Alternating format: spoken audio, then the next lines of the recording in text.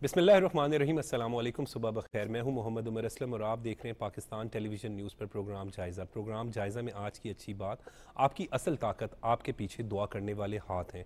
कोशिश करें कि इन दुआ करने वाले हाथों में इजाफा हो। प्रोग्राम में आज जिन खबरों पर बात करेंगे वो आपसे शेयर कर लेते हैं।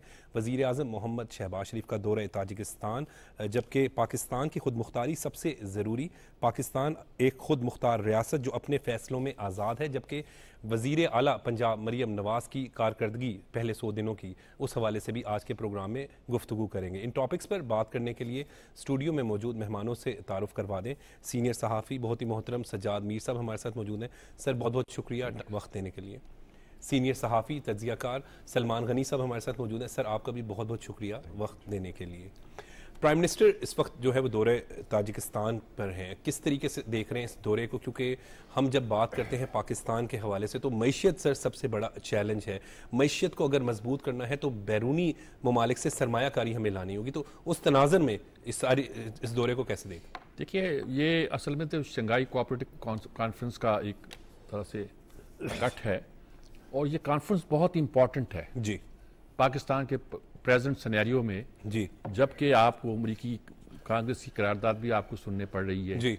और आपको वहाँ यूएनओ के भी किसी वर्किंग कमेटी पता नहीं क्या नाम है उसका कोई किस किस्म का अदारा है उसकी बातें भी सुननी पड़ रही है। कि शंघाई कॉन्फ्रेंस बनी थी सिर्फ़ चार मुल्क थे उस वक्त। ठीक। रूस चीन और शायद ये इन सेंट्रल एशिया के ममालिक में से दो ममालिक। जी। और उस वक्त कहा गया था कि ये नेटो के खिलाफ बनाई गई है जो अफ़गानिस्तान में जिस उनकी फौजें आके मौजूद हो गई हैं। तो यहाँ खत्े में ये ख्याल पैदा हो गया है कि क्या अब नेटो की या अमेरिका की प्रेजेंस इस खत्े में भी होगी? सही। क्या पहले तो वहाँ रूस के खिलाफ लड़ रहा था यहाँ भी वो अपने पाँव जमाना चाहता है। इन्होंने अगर तरदीद की कि नहीं हमारा ये मकसद नहीं है। ठीक। हम ये नहीं चाहते हम इलाकाई कोऑपरेशन चाहते हैं दहशत गर्दी के खिलाफ जंग चाहते हैं। सही। और वो वक्त चलता गया और फिर एक वक्त आया कि पाकिस्तान भी इसका मेंबर बन गया। पहले एक ऑब्जर्वर बना मेंबर बना। और मेंबर बनने में ये शर्त गालबन ये रखी गई रूस इसरार कर रहा था इंडिया को बनाने पे। चीन ने कहा कि इंडिया को बनाना है तो पहले पाकिस्तान को भी साथ बनाओ। चीन ने दोस्ती यहाँ पे भी एक सलमान गनी साहब मौजूद हैं इन्हें पता है कि सरताज अज़ीज़ साहब ने हमें ब्रीफ किया था जब ये हम मेंबर बने थे कि चीन ने इस सिलसिले में हमारी बड़ी मदद की। अब हम बराबर के मेंबर हैं उसमें शामिल हैं। इस पूरे खत्े के ममालिक की जो पॉलिटिक्स है उसमें हिस्सा लेते हैं। ये पॉलिटिक्स उस तरह की नहीं है जिस तरह वेस्टर्न ब्लॉक की है। लेकिन यकीनी तौर पर ये एक कुत है। अगर उस ब्लाक के अंदर इंडिया भी है हम भी हैं तो यकीनन और चीन भी है तो यकीनन ये एक ऐसी सूरत हाल है जिस पर हमें गौर करना चाहिए। रूस भी है। मुल्क हमारी ताकत बन सकते हैं। फिर अब सेंट्रल एशिया की ज़्यादा ममालिक इसमें शामिल हो गए हैं। एक ज़माने में हमने आईसीओ के नाम से एक तंजीब बनाई थी जिसमें पुरानी आर को पहले तुर्की ईरान पाकिस्तान के साथ अफ़गानिस्तान को शामिल किया फिर उन छः रियासतों को शामिल किया जो सेंट्रल एशिया की रियासतें हैं। फिर बाद में वो तंजीम पता नहीं कहाँ हमारी खारजा पॉलिसी में या हमारी सफारतकारी पे खो के रह गई। लेकिन अगर हम उन ममालिक से अपने ताल्लुक को बेहतर कर लें और एक इंपॉर्टेंट खबर जो शायद आज ही आई है कल आई थी शायद वो बड़ी इम्पोर्टेंट खबर है। वो ये है कि काबल में पाकिस्तानी सफारत खाने के अंदर जी। पाकिस्तानी वफद की और अफगान हुकूमत के वफद की मुलाकात हुई है और मुजाकर हुए। ठीक। अगर हम इस खत्े को ज़रा साफ़ कर देते हैं और हमारी तजारत की जो बिल्कुल हम हम वहाँ तक सेंट्रल एशिया तक पहुँच जाते हैं हमारी तेल की लाइन रुकी हुई है हमारी हम गैस लेना चाहते हैं हम बिजली लेना चाहते हैं पंद्रह साल से मटर खा रखा है। ना हमें ईरान से लेने देते हैं ना इधर से पेश करते हैं कि अफ़गानिस्तान के हालात ठीक नहीं है। जी। अगर सचमुच सूरत बदलती है और इन इलाकों से हमारी आती है इन्वेस्टमेंट हम आजरबाईजान जाते हैं काजकिस्तान जाते हैं पाकिस्तान जाते हैं। ये सारे सारे मुल्कों किर्गिस्तान जाते हम इन सारे मुल्कों से अपने ताल्लुक को बेहतर करना चाहते हैं सिर्फ़ इसलिए कि हम चाहते हैं इंडिया की भी यही ख्वाहिश है कि पाकिस्तान ट्रांजिट दे और हमारे रास्ते से वो अफ़गानिस्तान से होता हुआ यहाँ पहुँचे। हमें भी चांस है कि इंडिया को कोई अगर मौका देना भी हो तो मौका देने से पहले हम अपना रूट जो है वो ज़्यादा स्टैब्लिश कर दें। ठीक। ये जो हमारा सी पैक है और बहुत सी इसमें हमारी ख्वाहिशें तमाम ममालिक जो हैं वो शामिल हो। ठीक। और हिस्सा लें। इसमें यकीनी तौर पर शहबाज शरीफ साहब बड़े इनिशिएटिव लेके गए हैं और जो उनकी अभी मुलाकातों का आगाज़ हुआ है ज़ाहिर है एक दो दिन में पता चल जाएगा जारी सूरत हाल वो उनकी ख्वाहिश ये है कि यहाँ भी एक सरमाकारी मौजूद है इम्कान ये लोग भी आए। हम ट्रेडिशनल लोगों के पास जाते रहते हैं कोई इसको फैलाएँ स्कोप को। और मेरे ख्याल में ये एक बहुत पॉजिटिव बात है सही। और अच्छी शक्ल नज़र आती है। एक तो हमारा शंघाई कोऑपरेशन कॉन्फ्रेंस में एक्टिव होना और दूसरा इन मुल्कों की मदद के साथ अपना टिल्ट इस तरह भी करना उस वक्त जब हमें मतून किया जा रहा है और जब हमें माशी तौर पे मज़बूत भी चीन की ज़रूरत नहीं है बल्कि खत्े के दूसरे ममालिक की इमदाद की भी ज़रूरत है। हमारी ये एफर्ट यकीन काबिल कदर है। बिल्कुल ठीक है। जिस तरह सजाद मीर साहब अभी बात करते हैं, माशी तौर पर हमें मज़बूत होना है और वजी अजम मोहम्मद शहबाज शरीफ साहब के हवाले से जब हम बात करते हैं तो इनका ये दौरा जो है वो बड़ा इंपॉर्टेंट है। हमने देखा कि उन्होंने बड़ा ही कामयाब दौरा सऊदी अरब का किया, चीन का दौरा उनका बड़ा ज़बरदस्त रहा। तो इस सारी सूरत हाल में आप अगर हम यहाँ पर बात करें कि अपने करीबी ममालिक जिस तरीके से बात करते अब हर मुल्क जो है वो इस वक्त मीशत की बात कर रहा है कि किस तरीके से रास्ते मिले कोई ऐसे जो है मार्केट्स मिले जहाँ पर जो है वो इन्वेस्टमेंट हो सके तो ये एक अच्छी अपॉर्चुनिटी है सर पाकिस्तान के लिए। देखिए उमर अभी तक अगर आप प्राइम मिनिस्टर शहबाज शरीफ की कारकर्दगी का जायज़ा लें तो बैरूनी महाज पे तो एक्सीलेंट है। जी। के बाद ये कि आप देखें कि ये जिस विज़िट पे गए हैं अभी तक जो खबरें वहाँ से आई हैं उन्होंने वहाँ जो ब्रीफिंग प्रेसिडेंट ताजकिस्तान के साथ जो प्रेस कॉन्फ्रेंस थी उन्होंने बताया कि पाकिस्तान के अंदर इम्कान क्या है। जी। सनत में तजारत में ज़रात में इन्वेस्टमेंट के। मेरा ख्याल है कल का उनका विज़िट ज़्यादा इंपॉर्टेंट होगा उसमें उनकी साइड लाइन मुलाकातें हैं चीन और रूस के प्रेसिडेंट के साथ। ठीक। और ये इस खत्े की सूरत हाल के हवाले से बड़ा इम्पोर्टेंट है। और मुझे याद पड़ता है ये पाकिस्तान था जिसने कुछ साल पहले ये लाइन ली थी कि हमें इस खत्े के जो मामला हैं इस खत्े के मसाइल और मुश्किल का हल मिल बैठ के करना चाहिए। उस वक्त पाकिस्तान ने ये बात अफ़गानिस्तान के तनाजर में की थी और फिर आप देखें कि अफ़गानिस्तान के अंदर सियासी तब्दीली के अमल में पाकिस्तान का एक बड़ा किरदार था। अफ़गानिस्तान में अमन के हवाले से चीन रूस ईरान टर्की पाकिस्तान के ये एक सियासी तब्दीली हुई। जहाँ तक ये एशियाई ममालिक का तल्लक है तो जब हम सी पैक की बात करते थे ना कि पाकिस्तान के माशी मुस्तबिल के हवाले से सी पैक की का बुनियादी किरदार है तो सी पैक का रोल सिर्फ़ पाकिस्तान तक महदूद नहीं था। असल में सी पैक की अहमियत और हैसियत आपके दुश्मन को ज़्यादा पता है। जैसे मैं हमेशा कहता हूँ कि पाकिस्तान की न्यूक्लियर ताकत और ख़ास तौर पे आपकी जो मिज़ाइल टेक्नोलॉजी है ना अगर किसी को इसकी मौसर होने का इतराक है तो वो इंडिया को है। इसीलिए उसने दोबारा पाकिस्तान पर बुरी आँख डालने की ज़रूरत नहीं की। और आपने अभी जो क्वेश्चन उठाया देखें बात यह कि अब दुनिया के अंदर जंगे नहीं हो रही। अब माशी अब माशी माशी मास पे जंगे हो रही हैं। और पाकिस्तान के प्राइम मिनिस्टर जिस कैफियत के अंदर इस वक्त बैरूनी दौरे पे हैं ये टाइमिंग बड़ी इंपॉर्टेंट है। आप देख नहीं रहे कि चीन के जब वो विज़िट करके आए पाकिस्तान के अंदर चीन के विज़िट के बाद चीनी वज़ीर पाकिस्तान के अंदर इम्कान देखने के लिए आए और पाकिस्तान की सियासी क्यादत मिल बैठी हम्म। और उन्होंने कहा कि पाकिस्तान और चीन के दरमियान तल्लत माहदात और सी पैक की अपग्रेडिंग के अमल में हम सब इकट्ठे हैं। लेकिन मैं आपको एक बात बताता चलूँ। जैसे मैंने कहा ना कि बैरूनी महाज पे तो प्राइम मिनिस्टर साहब डिलीवर करते नज़र आ रहे हैं। ये साजिशें अंदरूनी महाज पे हो रही हैं। माजी के अंदर उम्र ऐसे नहीं होता था। माजी के अंदर हम कहते थे कि हमारा दुश्मन पाकिस्तान को गैर मुस्तकम करना चाहता है। दुश्मन ने अपनी स्ट्रेटजी बदल ली है। उसे पता है कि जी वो पाकिस्तान मुँह तोड़ जवाब देगा हर फोरम पे। ठीक अब वो पाकिस्तान के अंदर से और ख़ास तौर पे टेक्टस क्या है ये सोशल मीडिया का महाज है। पाकिस्तान की रियासत को पाकिस्तान के रियाती इदारों को टारगेट करके पाकिस्तान के अंदर इंतशार खलफशार तनाव टकराव पैदा करने की कोशिश की जा रही है। कि दुनिया ने तो आपके इम्कान देख के आपकी तरफ़ रजू किया है। अबू जैबी ने कहा कि जी हम दस अरब डॉलर की सरमाकारी करेंगे सऊदी अरब ने कहा कि हम पाँच से सात अरब की करेंगे। चाइना आपके साथ आके खड़ा हो गया। जी। लेकिन आप अपने पाँव पे खड़े हैं या नहीं खड़े बुनियादी चीज़ ये है। देखें बात ये कि माजी के अंदर सियासत जो होती थी मीशत पर सियासत नहीं होती थी। ठीक। मीशत के हवाले से जिन मुल्कों ने माशी वाले से तरक्की की है तो उनकी यकसुई और संजीदगी है। वो ये हर चार साल के बाद पॉलिसीज़ नहीं बदलते। ठीक। वो मुल्क आगे की तरफ़ निकल गए इसलिए कि उनकी नज़रें जो है वो आगे की तरफ़ होती थी। और हमारे यहाँ एक रवाज पड़ गया पिछले दस साल से कि जो हुकूमत बनती है उसकी टांगें खींचनी शुरू कर देते हैं। पाकिस्तान के अंदर एक फर्स क्रिएट किया जाता है। और हालत यह है कि पाकिस्तान की दुनिया की जो लीडरशिप होती है वो अपने मुल्कों के अंदर इतिहाद और यकजहती उसको फ़रोग देती है। लोगों के अंदर उम्मीद और आस पैदा करती है। अपनी नौजवानों का पोटेंशियल जो है उसे यूटिलाइज करने की बात करती है। ये एक अरसे से पाकिस्तान के अंदर इतिहाद और यकजहती की जगह इंतशार और खलफशार क्यों है? जी। ये पाकिस्तान की सियासत पर तनाव और टकराव क्यों है? क्यों बैठने के लिए तैयार नहीं? मैं समझता हूँ कि पाकिस्तान के प्राइम मिनिस्टर ने आज से चार दिन पहले बड़ी संजीदगी से आप ज़रा देखें पहले तो वो जनरली बात करते थे ना कि जी चार्टर ऑफ़ इकोनॉमी की उस दिन उन्होंने असम्बली के फ्लोर पे कहा कि बानी पीटीआई को जेल के अंदर कुछ मुश्किल हैं या उनके सियासी मामला हैं हम बैठ के बात करने के लिए तैयार हैं। और ये जो सियासी डायलॉग होता है इसमें से रास्ते बनते हैं। इसकी मिसाल मैं आपको यूँ दूँगा कि नवाज़ शरीफ साहब भी अपनी बेटी के साथ जेल में थे। बड़े मुश्किल सूरत हाल थी बड़े मुकदमात थे। पार्टी की जो ए लाइन सारी जेलों के अंदर थी उन्होंने डायलॉग का रास्ता बंद नहीं किया। उन्होंने पोलिटिकल फोर्सेस को साथ में लाया पीपल्स पार्टी जे बाकी जमातें। उनका रास्ता बन गया। आज उनका भाई पाकिस्तान का प्राइम मिनिस्टर है। बेटी उनकी पंजाब की चीफ मिनिस्टर है। इसका मतलब कि सियासी डायलॉग में जान होती है। जो लोग डायलॉग की बात नहीं करते जो लोग डेडलॉग के खाएँ आप पहली बात तो यह है कि क्या वो सियासतदान है?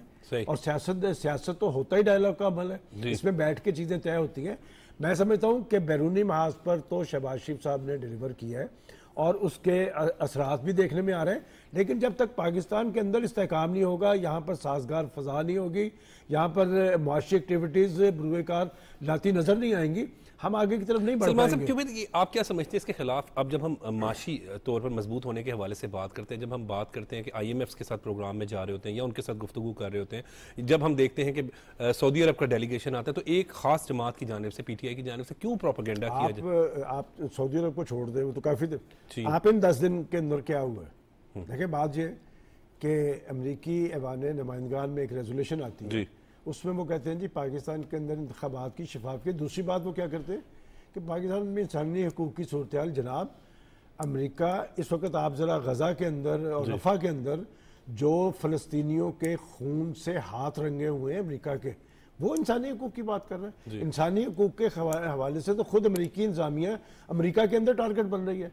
जाएँ किसी यूनिवर्सिटी के अंदर वहाँ के स्टूडेंट्स खड़े हैं फ़लस्तियों के साथ तो बात है कि आप इल्ज़ाम दूसरे को तब दें पहले अपने गिरेबान में जान के। और मैं आपसे ये पूछता हूँ कि आठ फरवरी को इलेक्शन हुए अमरीकी इंतजामिया ने प्रेसिडेंट बाइडन ने रिज़ल्ट तस्लीम किए उन्होंने शहबाज शरीफ को लिखा, लिखा। यहाँ तो लोग तरस गए थे यहाँ तो ऐसे कि वो फ़ोन नहीं उठाते। तो इसका मतलब उन्होंने सारी गवर्नमेंट को तस्लीम किया। ये टाइमिंग बड़ी इंपॉर्टेंट है। इसलिए कि चीन का विज़िट जो है और उनके साथ होने वाले माहदात हैं आपके दुश्मन को हजम नहीं हो पा रहे और फिर जब इस, इस तरह की कैफियत हो तो फिर उसमें ज़्यादा ज़िम्मेदारी आती है अहल सियासत पे कि वो अपने मुल्क के अंदर यकसुई और संजीदगी तारी करें और इतिहाद और यकजहती को फरोग दें। मेरा ख्याल लोगों को भी इसी तनाजुर में देखना चाहिए अपनी इस पर सजाद मीर साहब का पॉइंट ऑफ़ व्यू लेंगे लेकिन अभी वक्त हो रहा है ब्रेक का।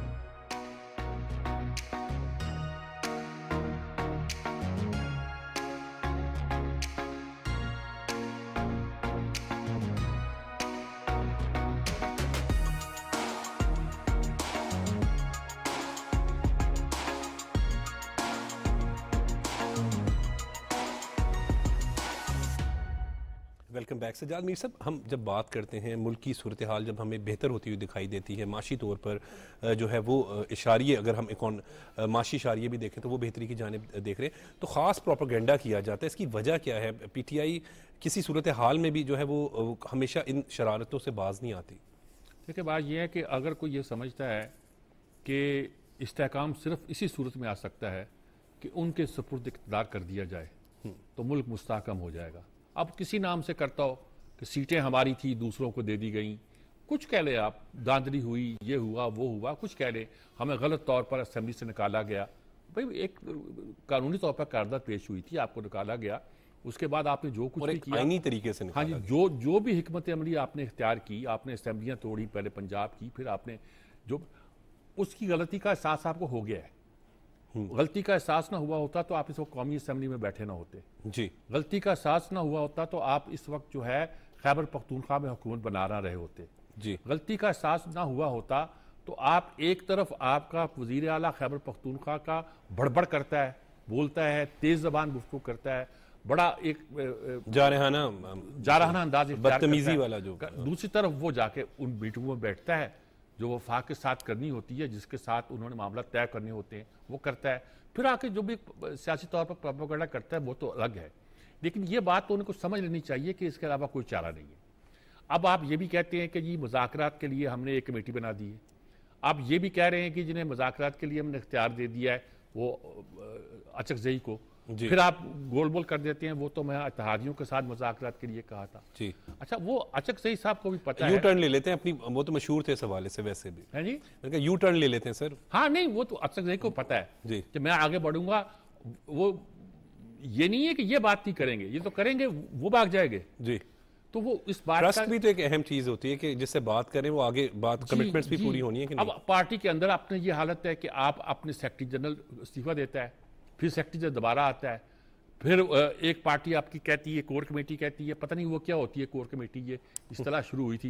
वो कहती है कि जनाब नहीं नहीं हमारा सेक्रेटरी जनरल यही है।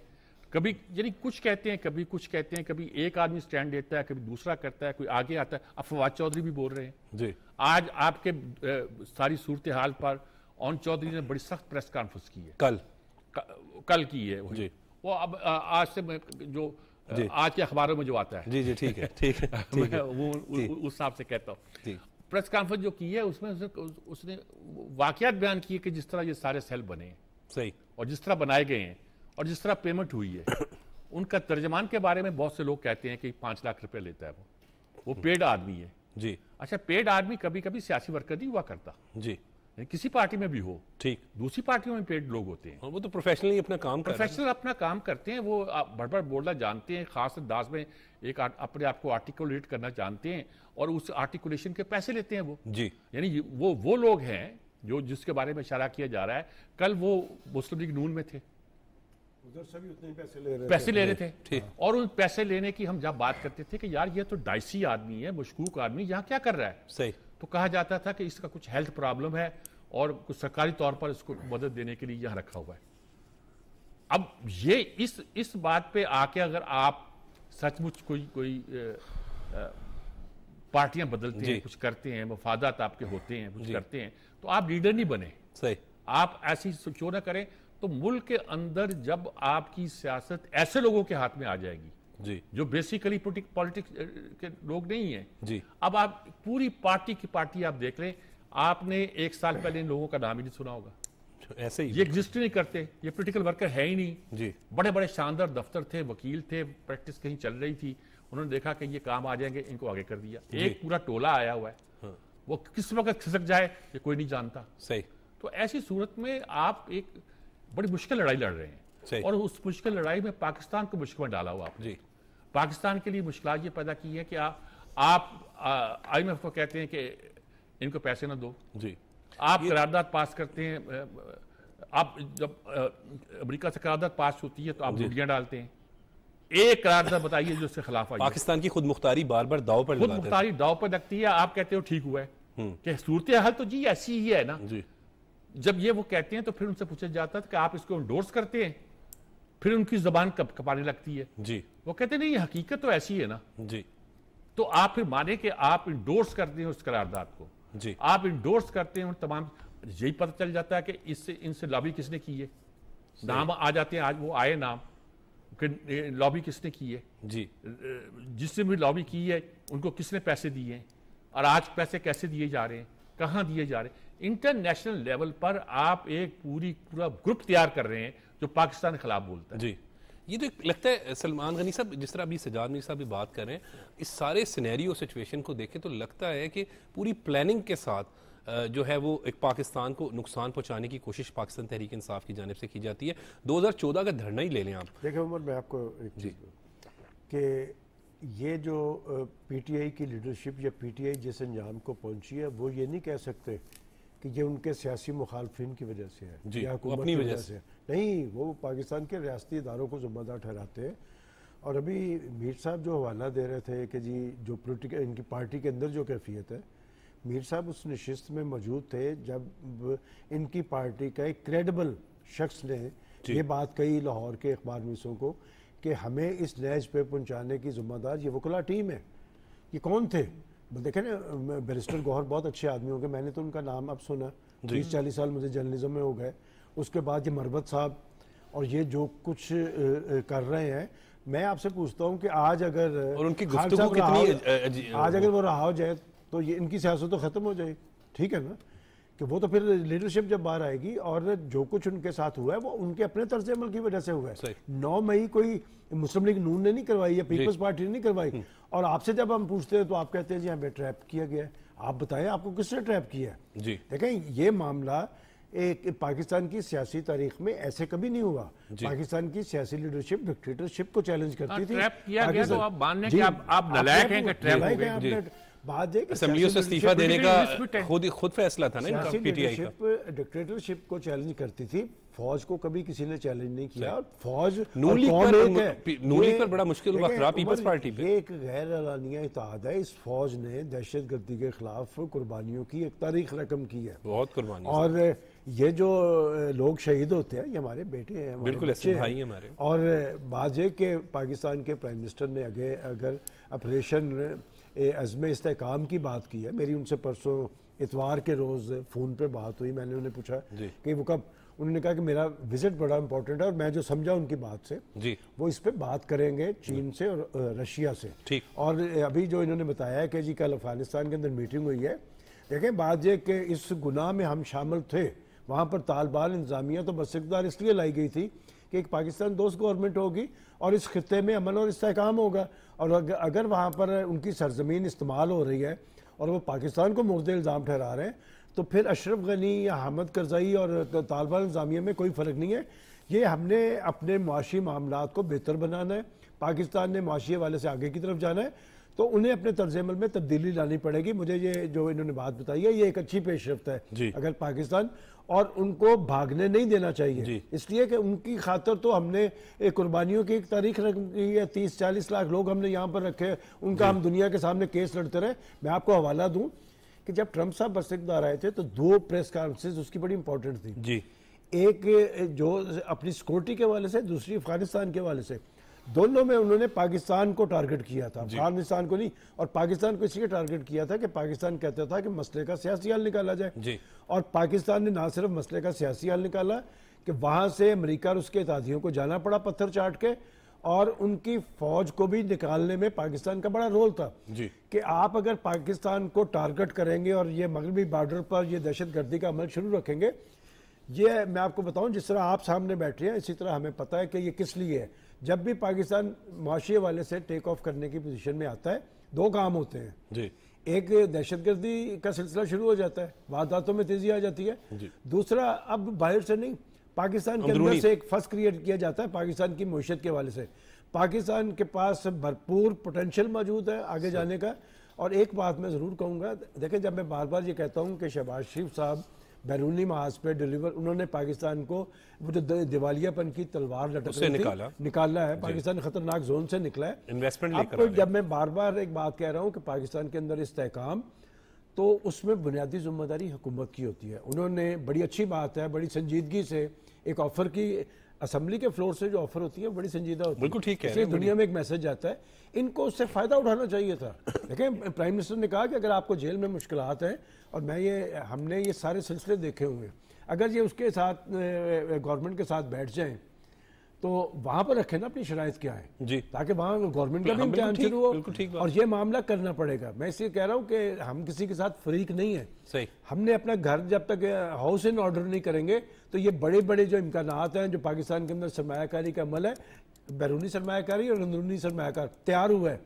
तो अब इसके लिए फ़जा साजगार बनानी है और ये जो सियासी महाज पर इंतशार खलफशार फैलाने की कोशिश की जा रही है ये दुरुस्त नहीं है। ये दरअसल दुश्मन का एजेंडा था और उस एजेंडे के लिए हमें हम ब्रूवे का लाए जा रहे हैं। तो कम अज़ कम आप अपनी सियासत में पाकिस्तान और पाकिस्तानियत को तरजीह दें और मैं समझता हूँ कि जब आपने सियासत पाकिस्तान में करनी है फिर आपको पाकिस्तान को कमज़ोर बनाने की कोई इजाज़त नहीं देगा। बिल्कुल ठीक है। और सलमान गनी साहब का बड़ा इंपॉर्टेंट पॉइंट है सजाद मीर साहब जब हम बात करते हैं कि पाकिस्तान जब भी टेक ऑफ़ करने लगता है माशी तौर पर हमेशा जो है वो दहशत गर्दी या फिर जो है वो पाकिस्तान के अंदर अंदर से जो है वो कुछ इस तरीके से की सिचुएशन क्रिएट की जाती है कि नुकसान पहुँचे या इन्वेस्टमेंट ना आए। क्योंकि कोई भी इन्वेस्टर चाहे पाकिस्तान में मौजूद हो या हम जब बैरून ममालिक से इन्वेस्टर्स की बात करते हैं वो तभी आएँगे कि जब यहाँ पर उन्हें साजगार और एक बेहतरीन माहौल मिलेगा। देखें पाकिस्तान का कराची जो है पाकिस्तान का कमर्शियल कैपिटल है। बिल्कुल। और सबसे पहले डिस्टेबलाइज कराची को किया गया। आदमी सोचता है कि कराची में क्या ऐसा मसला पैदा हो गया कि आपने कराची को ही टारगेट किया? आज से नहीं सबसे पहले जब टारगेट किया गया। और यकीनी तौर पर हमारी मीशत का पहिया रुक गया। मुल्क उस एक साल था जिसमें मुल्क में उनतीस दिन कराची में ख़ास तौर पर हड़तालें हुई थी। और हड़तालों का नतीजा क्या निकला था? वहाँ इंडस्ट्री चल नहीं पा रही थी। जी। अब हम जो उखड़े हैं तो अभी तक सीधे रास्ते पर चल नहीं पा रहे। जी। अब मुल्क के अंदर पूरी फजा को आप पैदा करना चाहते हैं। आप सी पैक एक तरह का रोल बैक कर दिया था यानी कुछ कह लें जब आपका वज़ीर आके ये कहता है कि हम्म। जनाब एक साल के लिए मौखर कर दें। पीटीआई को। हाँ वही मैं कहता हूँ आपका आप उन्हीं से खिताब कर रहा हूँ जी। कि वो कहता है कि एक साल के लिए मौखर कर दें। जी। फिर आप खुद ये फरमाते हैं कि करप्शन तो हुई है। और दोस्त मुल्क है इस चीज़ के हाँ, हाँ हसासियत का इसका अंदाज़ा रख, और उनके उनका सफीर और उनके सफारतकार लोगों को समझाते रहे कि तुम लोग क्या कर रहे हो पाकिस्तान को तबाह कर रहे हो। ये भी इस मुल्क में लोग गवाह है। ठीक। किसी को समझ नहीं आई। उनके सफारतकार उस जमाने जो पाकिस्तान आते थे हमारे जो सफारतकार क्या है पता नहीं कहाँ से सेलेक्ट होके आ जाते होंगे उस जमाने के सारे M B B S foreign service में चले गए हुए हैं। जी। वो आ जाते थे तो क्या करते थे वो? वो कहते थे भाई ये ईस्ट इंडिया कंपनी इतना प्रोपोगंडा उस जमाने में हुआ कि इसका प्लानिंग के साथ हुआ सर हाँ, प्लानिंग, प्लानिंग के साथ। हुआ। और कुछ लोग ये तो सलमान भी यही कहता है और कुछ लोगों का यही ख्याल है और मैं खुद इस ख्याल का हामी हूँ। कि लड़ाई असल सी पैक की थी। जो नवाज़ शरीफ को 2017 में जो पनामा सी पैक की लड़ाई और कुछ नहीं था। अब रिज़ल्ट ये है कि इनको नज़र आ रहा है कि जब नवाज़ शरीफ यहाँ मौजूद है और उसके साथ उसकी पार्टी मौजूद है और एफर्ट्स कर रही है भाई आप मुल्क को लटकाए बैठे हैं। सही। या तो हो ना कि आप धड़ाधड़ मदद कर रहे हैं और हम किसी और तरफ़ जा रहे हैं। हम्म। अब मदद की तलाश में हम कहते हैं कोई तो आए यार। जी। वो चीन आना चाहता है कुछ करना चाहता है आप रास्ते में रोड़े अटकाते हैं हम उस तरफ़ जाते हैं सेंट्रल एशिया की तरफ़ या कुछ और रास्ते ढूंढते हैं तो और ये, ये रास्ते भी ठीक है सर वैसे ये रास्ते भी ठीक है क्योंकि करीबी ममालिक हैं देखो ना आप कहते हैं तापी की लाइन बनी तापी क्या था? Tajikistan Afghanistan Pakistan India. अच्छा अभी पंद्रह साल से सुन रहे हैं। फिर कहते हैं इसलिए नहीं बनती कि अफ़गानिस्तान में अमन नहीं है। जी। ईरान से आप जहाँ कोई मसला नहीं है बॉर्डर के साथ हम बैठे हुए हैं। आप पाइपलाइन ही बनने देते। सही। और जब उस पाइपलाइन से इंडिया को तेल जाना था तो आप शोर बचाते थे पाकिस्तानियों को कन्विंस करते थे कि ये पाइपलाइन बचा दे दो। अब जब आपको शक पड़ गया कि ये पाइपलाइन यहाँ से आएगी और चीन में जा सकती है तो आप चीखने लग गए हम्म। देखिए ये सारी इंटरनेशनल जिसे कहते हैं ना अपॉर्चुनिटीज़ पोलिटिकल इकोनॉमी है। ठीक पोलिटिकल इकोनॉमी है जिसकी मार हम हमें पड़ रही है। ठीक। और इसी पोलिटिकल इकोनॉमी के नतीजे के तौर पर हमारे यहाँ उनको एक आसान हथियार मिल गया है वो है दहशत गर्दी का। जी।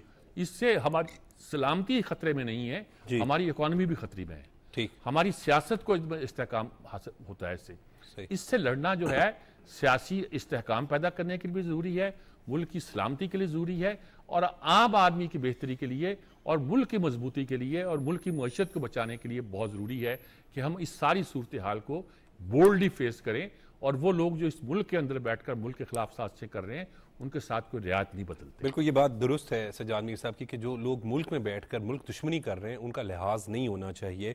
नाजीन प्रोग्राम का सिलसिला भी जारी है, लेकिन वक्त हो रहा है ब्रेक का।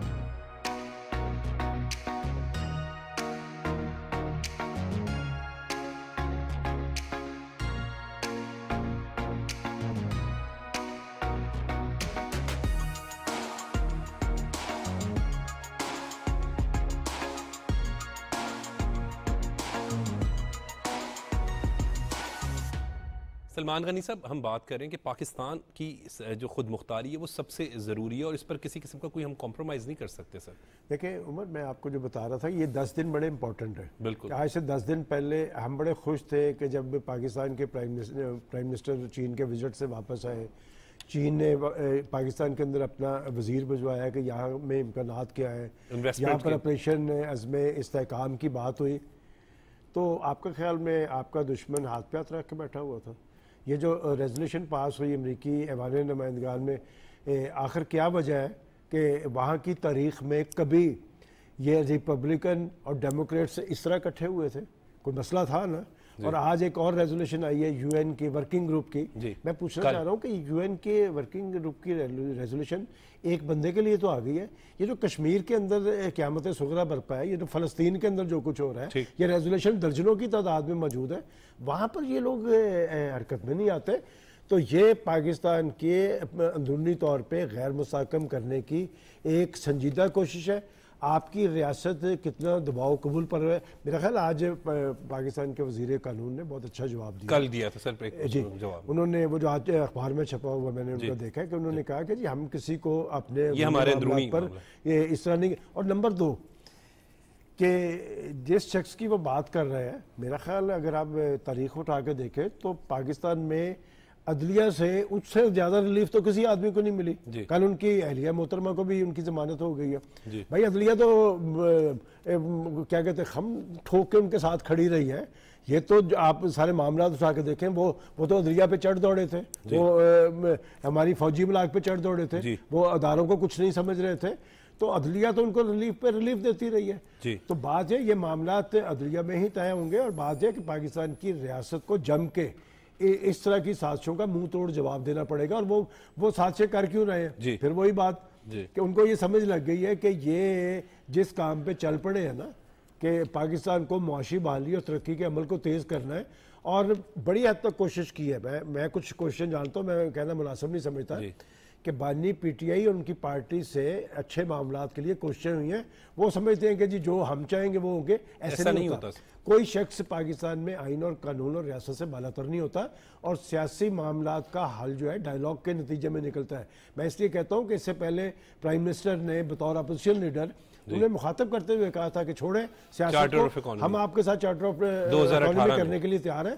उनका हाथ झटक दिया गया था। ये वही प्राइम मिनिस्टर और इस प्राइम मिनिस्टर की एक खसूसियत यह है ताकि मैं आपको भी खुश कर दूँ कि ये सबको साथ लेके चलने की अहलियत रखता है। और मैं ज़ाती तौर पर जानता हूँ कि माजी के अंदर जब निमल यूनिवर्सिटी बन रही थी तो उस वक्त के चीफ मिनिस्टर ने इन्हें कहाँ कहाँ सपोर्ट किया था। सियासतदान यही करते हैं। मैं समझता हूँ कि इन सियासतदानों को अपने तर्ज अमल पर नज़रसानी करनी चाहिए नविश्ता दीवार पढ़ना चाहिए। पाकिस्तान में सियासत करनी है तो फिर पाकिस्तान की मजबूती पे पाकिस्तान के अंदर इसकाम पे ए, ए, साथ खड़े होना पड़ेगा। अगर वो ये समझते हैं कि जी बैरून मुल्क लॉबिंग फर्म हायर हायर करके आप पाकिस्तान की जागनसाई करेंगे तो ये कुछ वक्त सर कुछ ऐसा है तो ज़रूर ना सलमान गनी साहब जब हम बात करते हैं प्रोपागेंडा जिस तरीके से उनका पीटीआई का प्रोपागेंडा सोशल मीडिया पे आता है और एक और अहम चीज़ सर एक बड़ी अहम चीज़ है क्योंकि आप एक सीनियर जर्नलिस्ट भी हैं और हमारे लिए बड़े मोहतरम हम आपसे सीखते हैं। सर मायूसी जान के फैलाई जा रही है इस माशरे के अंदर। आपको देखिए सिर्फ़ एक होता है मायूसी। एक होता है कि आप पाकिस्तान के रियासती इदारों को कंट्रोवर्शियल बना ये दुश्मन का एजेंडा है। देखिए मैं किसी पार्टी का नाम नहीं ले रहा। अगर जलमे खलील दाद आपका तर्जमान बन गया तो फिर तो इंश्योरेंस करवा लेनी चाहिए पीटीआई की। और पीटीआई के अंदर संजीदा लोग मौजूद हैं। और हमने उनसे मुलाकातें भी की हैं। वो वो सेंसेबल लोग हैं वो पोलिटिकल हल की बात करते हैं वो पाकिस्तान की बात करते हैं। और मैं हमेशा हवाला देता हूँ कि हामद खान साहब का मैंने खुद बयान जब इन्होंने आई एम एफ़ को लेटर लिखा उन्होंने कहा अच्छा अमल नहीं है। ठीक। मैंने खुद टीवी पे देखा कि सलमान अकरम राजा साहब को एंकर सवाल करता है तो वो गोल कर जाते हैं। उनके खुद अपने प्रेसिडेंट डॉक्टर आरिफ अलवी साहब वो मसले के हल की बात करते हैं। उन्होंने कहा कि मैं मिल के आया हूँ हमने दरवाज़ा नॉक करते रहना है। जी। तो बात ये कि आप दरवाज़ा नॉक करते रहेंगे तो हल निकलेगा। अगर आप ये समझे कोई बाहर से आपके लिए आएगा या बाहर से टेलीफोन कॉल आएगी तो आज का पाकिस्तान वो पाकिस्तान लेकिन करारदादे तो पास हो रही है ना। नहीं वो हो रही है। देखें वो एक नफसियाती कैफियत तारी करने के लिए वो जो आप चाइना के साथ अपने तल्लक बढ़ा रहे हैं ना और सी पैक की बात कर रहे हैं उन्हें ये पता है कि ये न्यूक्लियर पाकिस्तान उस वक्त जब पाकिस्तान के बारे में पाकिस्तान के मुआशी हालात अच्छे नहीं थे अगर उस कैफियत के अंदर ये आठवीं ताकत बन सकते हैं तो इस कैफियत के अंदर अगर ये मुआशी ताकत बन गए तो इंडिया क्या इसी में कहते हैं कि ये प्रोपेगेंडा आपको याद होगा कि किस तरह एक पेपर लहराया जाता था और कहते थे कि देखें जी मेरी तो हर चीज़ पे हाँ, हर चीज़ मतलब पे पसपाई इख्तियार किया। देखें वो तो कहते थे कि जी अमेरिका ने साजिश की है। वो तो कहते थे ये साइफर का इशू फिर हर एक पे पसपाई और फिर हमने वो भी हाँ, देखा वो तो ये भी कहते थे कि आईएमएफ से कर्जा लिया तो खुदकुशी कर वीडियो भी आई थी जिसमें वो अपने सेक्रेटरी जनरल को कहते थे अमेरिका का नाम नहीं लेना। जी। तो बात ये कि मैं तो फिर यही कहूँगा कि तोमत लगा के माँ पे जो दुश्मन से दाद ले ऐसे सुखन फरोश को मर जाना चाहिए। ठीक बिल्कुल ठीक है। सलमान गनी साहब बड़ी जब, ज़बरदस्त तजिया कर रहे थे और बात तो दुरुस्त है कि हमने उनको यू टर्न लेते हुए भी देखा हमने देखा कि वो मुल्क को नुकसान पहुँचाने के लिए हर हद तक बानी पीटी आई गए। लेकिन उन्होंने बड़ी सिंपल बात की थी कि नॉक करते रहना पड़ेगा दरवाजे पर उन्हें। दरवाज़ा तोड़ के अंदर नहीं जा सकते वो। ठीक। बहुत मज़बूत दरवाज़ा हुआ करता है ये। रियासत का दरवाज़ा जो है ऐसा नहीं है कि एक मॉब के आने से टूट जाए और जिस हवाले से बात कर रहे हैं बड़ी इंपॉर्टेंट है। कि एक क्रेडिबल बंदा था पीटीआई का पाकिस्तान के बड़े मनसब पे रहा था उसने ये बात की थी। जी। आपको आपको देखिए उन्हें पता है। डॉक्टर आरिफ उनको पता है कि कोई इसके अलावा कोई कोई रास्ता जो है है नहीं। तो जनाचे वो बार बार आते हैं लेकिन उनको डर किस बात का है? कि अगर लोगों को ये पता चल गया कि ये अंदर खाने बात कर रहे हैं तो कहीं हमारी क्रेडिबिलिटी लोगों में ये ना हो जाए कि इन्होंने तो अंदर से गोया मामला तय कर लिया और देखो मुल्क को बचाने के लिए एक बड़ी अच्छी बात की थी शहबाज शरीफ ने मैं उन्हीं की मैंने अपना पोलिटिकल जो सियासत को नुकसान पहुँचाया नुकसान पहुँचाया है। हम्म। लेकिन मुल्क को बचा दिया तो बात होती है कि सियासतदान वो होता है जो कि अपनी सियासत की खातर मुल्क को कुर्बान ना करे बल्कि मुल्क को मुल्क को तरजीह दे। सबसे पहले पाकिस्तान होना चाहिए। बात यह है कि इस तरह करने से कितनी देर चलोगे? ठीक। और दो चार साल में आपका मुल्क अपने पाँव पे खड़ा हो जाएगा। और दो चार साल में आप सीधे रस्ते पर चल पड़ोगे। इन्वेस्टमेंट तो आ रही आपकी इन्वेस्टमेंट आ जाएगी। आपकी आईटी इंडस्ट्री जिसके लिए इन्वेस्टमेंट की भी ज़रूरत नहीं है आपको पैसे ला देना शुरू कर देगी। आपकी एग्रीकल्चर जो है अपने पाँव पे खड़ी हो जाएगी आपकी सनतें शुरू हो जाएँगी माइनिंग पे आपको लोगों की इन्वेस्टमेंट जितनी जिसका इंतज़ार है वो शुरू तो फिर आप लोग आपकी तरफ़ देखना कम कर देंगे। ठीक और झूठ एक हद तक है ना मतलब पीटीआई का झूठ किस हद तक चलेगा हम जब बात करते हैं। महँगाई कंट्रोल हुई कि नहीं हुई? महँगाई में कमी हो गई है कमी अठतीस फ़ीसद से ग्यारह फ़ीसद पर आ गई। हाँ जी ये ये अगर यही सूरत जारी रही और इस, ये सूरत आगे कुछ देर बढ़ी तो कौन आपको पूछेगा जी? ठीक। अभी तो ठीक है लोग जज्बात में हैं कुछ जज्बात में आके कोई चार लोग आपके साथ लग गए हैं और आप उस चक्कर में पड़ गए और एक प्रोपेगेंडा भी तो है ना ऐसा नहीं हुआ सोशल मीडिया पे जो कौमों की जिंदगियों में ऐसा नहीं हुआ करता। और सोशल मीडिया के प्रोपोगेंडा जो है वो ज़्यादा अरसे जीता नहीं जाता। सही। वो हकाइक पर मबनी नहीं होता। चलता है। अभी पाकिस्तान बहुत मुश्किल वक्त देखिए जी। ये वक्त भी गुजर जाएगा। लेकिन दुश्मन कभी नहीं बचा पाकिस्तान का। हता के अब मैं वो कहना नहीं चाहता कि पाकिस्तान जिन के तोड़ने में, में जिन लोग आपका मुकम्मल कर देता हूँ कि पाकिस्तान तोड़ने में जिस जिसका जो रोल था वो अपने अंजाम को अपने अंजाम को पहुँचा। सही। हाँ, तो इसलिए ये आप ये ये जिनका और पाकिस्तान को इस वक्त अगर हम बचाने के हवाले से भी बात करें कि माशी तौर पर मज़बूत करने के हवाले से तो वो भी सबके सामने कि कौन इस वक्त ताजिकिस्तान के दौरे कर रहे हैं चाइना के दौरा कर रहे हैं और इन्वेस्टमेंट पाकिस्तान में ला रहे हैं। और वो ये कह रहे हैं कि मैं अब कर्जे नहीं चाहिए हमें अब इन्वेस्टमेंट चाहिए। ठीक। बिल्कुल। जैसे हम पंजाब की भी सूरत हाल के हवाले से थोड़ी सी बात कर लें, सौ दिन जो हुए हैं वज़ीर अला पंजाब मरीम नवाज़ के उसमें हम जब देखते हैं तो हस्पतालों में सेहत के हवाले से फ़ील्ड हॉस्पिटल एक बड़ा ज़बरदस्त मनसूबा रहा। इसी तरीके से वर्चुअल वुमेन पुलिस स्टेशन बनाए गए। तो हम जब इसकी बात करते हैं एक ऐसा वज़ीर अला पंजाब दो हज़ार अठारह में आया था जो छः महीने से ज़ायद तो अंडर ट्रेनिंग, बल्कि मुसलसल अंडर ट्रेनिंग, जब हम उनसे उनकी कारकर्दगी के हवाले से बात करते थे तो वो कहते थे, मैं अभी अंडर ट्रेनिंग हूँ। देखिए बात यह है कि मुस्लिम लीग की गवर्नमेंट चाहे वो नवाज़ शरीफ के उसको हेड करे जी। चाहे शहबाज शरीफ हेड करे पंजाब में जी। चाहे मरियम नवाज़ करे ठीक। वो किसी दूसरी गवर्नमेंट से कहीं बेहतर है। सिर्फ़ यही नहीं है कि पीटीआई की गवर्नमेंट से बेहतर है वो तो बेचारे पता नहीं कौन सा चीफ मिनिस्टर ले आए थे। तो किसी और भी पार्टी की जो गवर्नमेंट यहाँ आई है उससे कहीं बेहतर है। और इसमें कोई शक नहीं है कि सौ दिन किसी किसी हुकूमत की कारकर्दगी को मापने का कोई बड़ा पैमाना नहीं हुआ बिल्कुल ठीक है लेकिन उसके बावजूद भी कुछ बात मसलन इस बार और छोड़ दीजिए बातें। इस बार ईद को आपको गलाजत नज़र आई? जी। और अभी तक जो बारिश हुई है बारिश में पानी नज़र आया? वज़ीर आला खुद गई हाँ शहर का दौरा पानी था। वज़ीर आला हमारी तो कोई बूट पहन के तो नहीं गई थी हमारे शहबाज शरीफ की तरफ़ फिर भी पानी नहीं था। जी। मैनेजमेंट तो थी ना कुछ ना कुछ। जी। आप अभी लोगों के मसाइल बहुत ज़्यादा हैं। रोटी भी आपने सस्ती की और बहुत से काम किए लेकिन बस मसाइल आपके बहुत ज़्यादा हैं। और इन मसाइल पर इस हुकूमत की कारकर्दगी को जांचने के लिए सौ दिन तो काफ़ी नहीं है। जी। हमें तो अभी जो बजा चीज़ें नज़र आती है हम उसकी तारीफ़ कर रहे हैं। जी। और अस्पतालों का आपने ज़िक्र किया। तबाह कर दिए थे अस्पताल इन्होंने। जी। पंजाब में जिसे कहते हैं बुजदार गवर्नमेंट में। मेडिकल जो एक सिस्टम था वो सत्यानाश कर दिया था आपने। जी। दोबारा अपने पाँव पे खड़ा करना देखिए ये एक बड़ा बड़ा इनिशिएटिव है मरियम अब लोगों को दवाइयाँ भी मिल रही हैं इलाज भी हो रहा है। आप इंशाल्लाह बजट आया है बजट के बाद आपको और नज़र आएगा कि इसमें कितनी छूट मिली है आपको। जी। एजुकेशन में क्या होता है सेहत में क्या होता है ये वो चीज़ें हैं ये वो इंडिकेटर है जिसपे हम जज किया करते हैं। जी। और मेरा ख्याल है कि ये बेहतर तौर पर जज होगा और इनशाला बड़ा मुश्किल वक्त है किसी भी हुकूमत के लिए और ये हुकूमत यकीनी तौर पर उसको बेहतर तौर पर डील करेगी। और ये तो तय है कि बुजदार की हुकूमत से तो बेहतर जाए की जाएगी। वो तो वो कोई भी हुकूमत आके जाए। वो तो मुझे वैसे सलमान गनी साहब एक तो ज्यादती अगर आप उसके साथ कंपैरिजन मैं भी यही कहता हूँ वो तो कंपैरिजन है नवाज़ साहब और शहबाज शरीफ साहब की गवर्नमेंट से हमजा शहबाज मैंने कहा कि तीनों की हुकूमत नहीं वो तो बात लेगेसी उनकी जो है वो ये है देखें बात ये कि आप जब सौ दिन की बात करते हैं ये जो सौ दिन का अमल होता है ना जमहूरी मुल्कों में उसमें पता चलता है कि इनकी तरजीहत क्या है ठीक। और पॉलिसीज़ क्या होंगी। सही। वो तरजीहत भी पता चल गया है पॉलिसीज़ भी क्या है। और जहाँ तक रोटी की बात की है इसमें कोई शक नहीं कि रोटी बारह रुपए भी मिल रही है चौदह और पंद्रह रुपए। जी। एक मामले में मैं उनका नाकद हूँ वो है काश्तकारों का इशू था कि काश्तकार या तो आप गंदम की सरकारी कीमत का ऐलान ना करते उनतालीस सौ का या फिर उनसे खरीदते। बाद एक उन्होंने जैसे कहा ना असल चीज़ होती है कि जवाबदेही का एहसास या एहसास ज़िम्मेदारी वो उन्होंने साबित किया है और भागती दौड़ती नज़र आ रही हैं। और सबसे अहम बात यह है जब आप अभी बात कर रहे थे ना बुजदार साहब का बुजदार साहब किसी को भी जवाबदेह नहीं थे। इसलिए कि वो शख्स पहली दफ़ा एम पी ए बना था और आखिरी आदमी था पीटीआई में शामिल और उसका इंतखाब इस बुनियाद पर हुआ था हम्म। कि ये सुबह उसने नहीं चलाना वो उन्होंने बनी गाला से चलाना था।